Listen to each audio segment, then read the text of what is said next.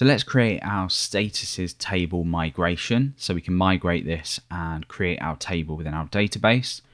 And this is going to handle status replies as well. We're not going to have a separate table for this.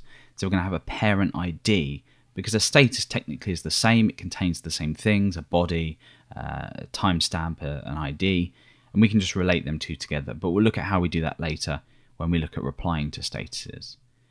So let's head over to our command prompt and generate a new migration. So we say php artisan make migration, and this is create statuses table.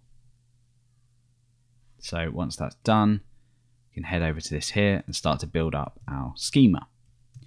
So we're going to say schema create, the table is statuses, and as we've seen a couple of times before,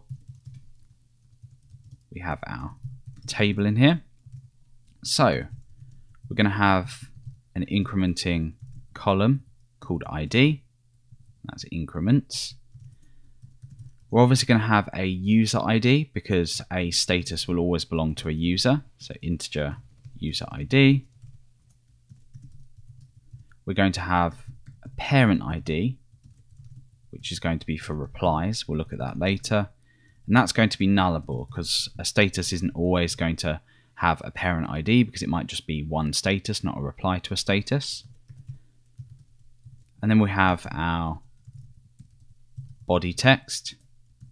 And finally, we have our timestamps. And once again, for the down method, we want to remove this table if we roll back. So we just drop the statuses table. So let's run this migration. So PHP artisan migrate, and that will create our table for us. Let's head over to our database and just make sure that it all looks good. So over to our structure, and everything is looking good here. So that is our migration created. Next, we're going to look at how we can, using the form that we see when we're signed in, actually create a status.